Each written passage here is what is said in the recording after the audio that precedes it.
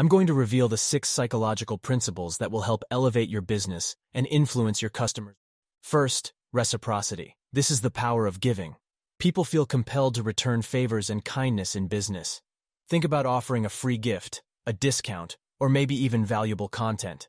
This fosters goodwill and encourages your customers to reciprocate by making a purchase. Number two, commitment.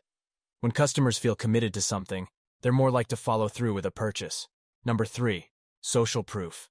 Showcasing positive reviews, testimonials, and social media engagement helps build trust and credibility.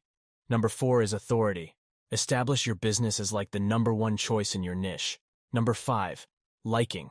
You want to build rapport with your audience, showing your personality, sharing relatable stories, and engaging with them on social media.